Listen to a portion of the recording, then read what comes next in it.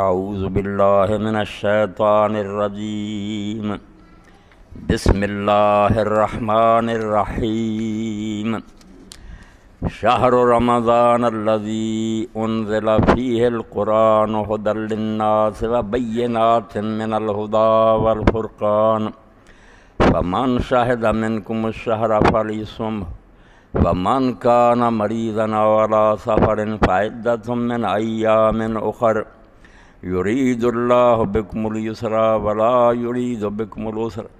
ولتكملوا العدة ولتكبروا الله على ما هداكم ولعلكم تشكرون.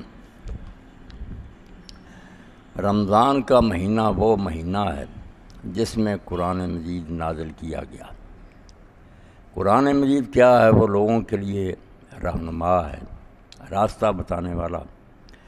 اور اس میں اللہ تعالیٰ نے وہ ساری دلیلیں اور برہان بیان کر دیے ہیں، جس سے انسان کو بصیرت حاصل ہوتی ہے اور وہ حق و باطل میں فرق کر سکتا ہے۔ تو جو آدمی اس مہینے کو پائے، اس کے لیے لازم ہے کہ اس پورے مہینہ کے روزہ رکھے روزے رکھے۔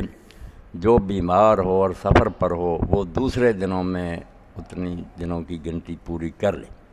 اللہ تعالیٰ لوگوں کو تنگی میں نہیں ڈالنا چاہتا، وہ لوگوں کے لیے آسانی چاہتا۔ اور یہ احکام اس لیے اللہ تعالیٰ نے دیے ہیں کہ تاکہ تم دنوں کی گنتی پوری کر لو۔ اور اللہ تعالیٰ نے جو تمہیں ہدایت دی ہے، اس پر اللہ کی بڑائی کا اعلان کرو۔ اور اس لیے کہ شاید تم شکر گزار بن جاؤ۔